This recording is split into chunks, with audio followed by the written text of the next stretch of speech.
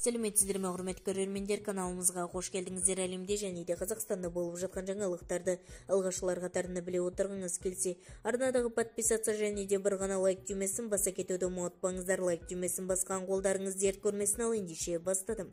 Тегін тамақ киім кешек. Қазақстан тәжікстан шекарасында даярлайды.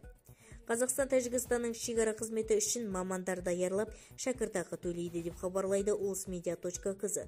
Тағы да оқи отырыңыздар. 15 жылдан кейін ашылған қылмыс. Алаяқ анталияда ұсталды. Мыржықпаев спорт үшін жауап бермейді. Бірақ премьер-министрге кеңес береді. Қырғызстанда интернет істен шықты. Қазақстанның не қатысы бар?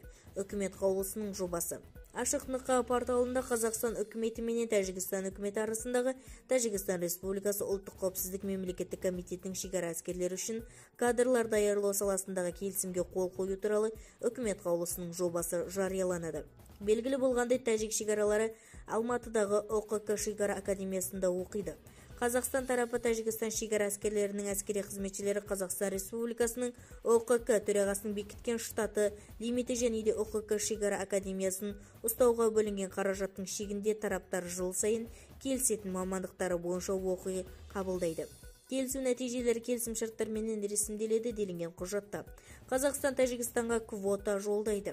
Әскери қызметшілердің оқуға қабылдау тәжікстан тарапының жыл сайынғы жазба өтінімдерінде қазақстан тарапының ұсынымдары менен мүмкіндіктеріне сәйкес жүргізіледі.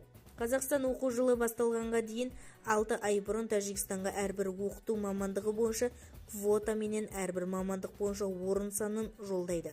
Өтінімдер оқу басталғанға дейінгі 6 ай бұрын жіберіледі.